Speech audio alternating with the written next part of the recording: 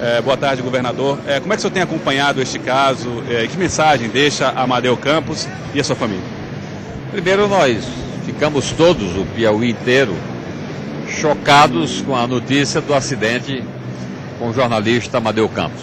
O Amadeu que é âncora importante é, da notícia da televisão do estado do Piauí, na TV Cidade Verde, que dedica a sua vida a, a esse trabalho a favor do povo do Estado.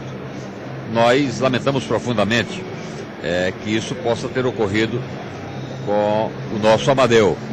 E logo que soubemos pela manhã, já conversamos com o doutor Jesus Filho, e que vinha comigo para São Paulo no mesmo voo e que resolveu ficar para cuidar do Amadeu.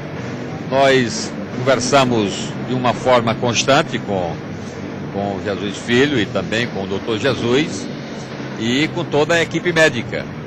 Falamos com o Aloysio Luiz durante a realização da ressonância magnética e também com o doutor Jacinto, já por algumas vezes. Estamos acompanhando muito de perto a, questão dos procedimentos e dos encaminhamentos para o tratamento do nosso querido Amadeu governador. É, e quanto a, a, a, esse, a, esse, a essa importância do Amadeu no cenário da comunicação e a necessidade do pronto estabelecimento dele, qual a expectativa que o senhor tem nesse sentido? É, a importância de um, de um grande formador de opinião, de um, de um jornalismo que é feito é, com muita seriedade, com serenidade e que tem ensinado a todos nós. Né? O, o Amadeu tem sido um exemplo que que orgulha o Piauí de, de, pela sua juventude, pela sua capacidade pela sua garra, pela sua vontade, pela sua vocação para a comunicação. Então nós, nós estamos aí, nos colocamos à disposição como médico, como, como amigo e, e também como, como admirador, mas como governador do estado do Piauí.